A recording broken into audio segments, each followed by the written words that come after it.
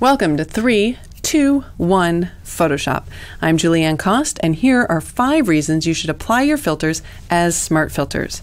In order to do that, we need to make sure that we're working with smart objects. So, with the background selected, I'll choose Filter and then Convert for Smart Filters.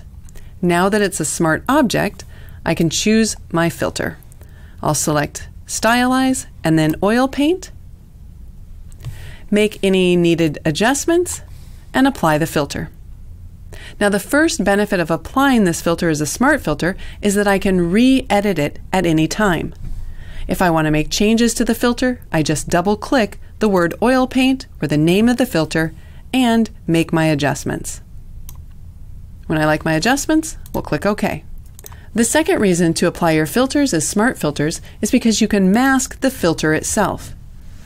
With the mask selected, I'll tap the B key to select my paintbrush. It's set to 50% opacity, and I'm going to start painting in the building area just to selectively hide the filter in that area.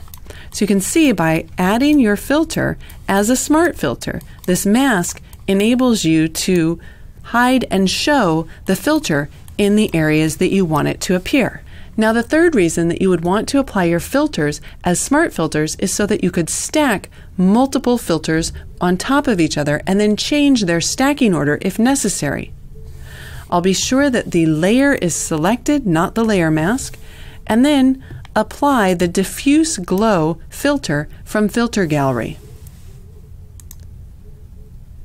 The problem is is that the diffuse glow filter because it was applied on top, it's hiding a lot of the texture from the oil paint filter. So I'll change the stacking order by clicking on Filter Gallery and dragging it below oil paint. Now, the fourth reason to apply your filters as smart filters is because you can move and duplicate your smart filters not only between layers but also between documents. In this case, I have another layer here and I want to apply these filters. If I only wanted to apply one of them, I could hold down my Option or Alt key and drag, for example, the oil paint filter in order to apply it to the insect.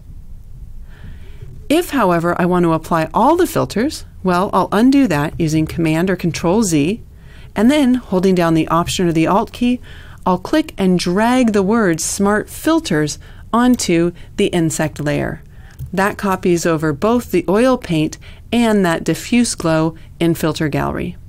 It also copied the mask, so I want to fill that with white. I'll select it and then use Shift Delete in order to display the fill dialog, making sure that the contents are set to white, normal mode at 100%.